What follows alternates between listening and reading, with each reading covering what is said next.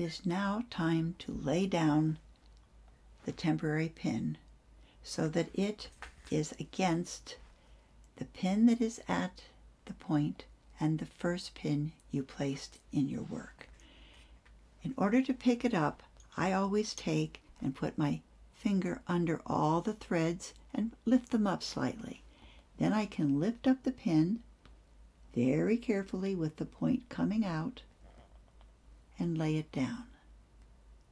And when I lay it down, I can now take my pairs which went around that pin and slightly tension them, pull them, so that that, did, do you see how the little loops actually went closer together and they're now just on the pin. So now we have the outside pair, the plait pair, the trail pair, I'm sorry, and the worker. We don't need the worker for right now, so we're going to set that aside. So I'll put a pin in here so I know to remember, and here's my worker. What I now have are two pairs which are ready to make the plait going up to the next pinhole.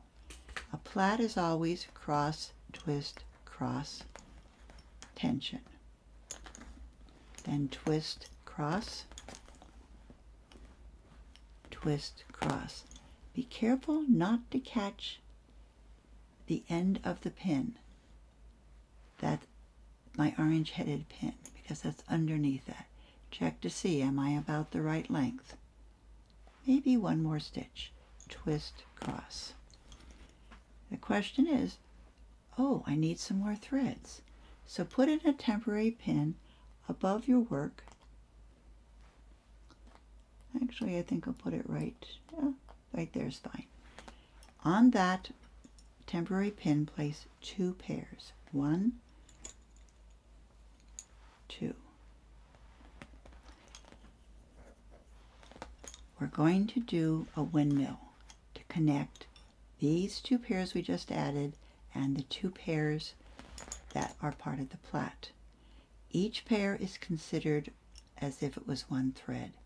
So if I do a cross, I pick up the two threads and cross them over the other two. Then I do a twist. Pick up one pair and move it over. Pick up the other pair and move it over. So I'm now ready to put the pin in. The pin is going to go at the intersection. It goes between two, the two pairs, two on this side, two on this side. It goes between those two pairs and it goes into the pinhole. You can now release your temporary pin and cross the last one and pull them down.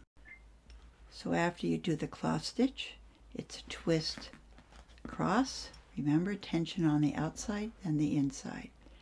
Twist cross, tension, twist across, tension,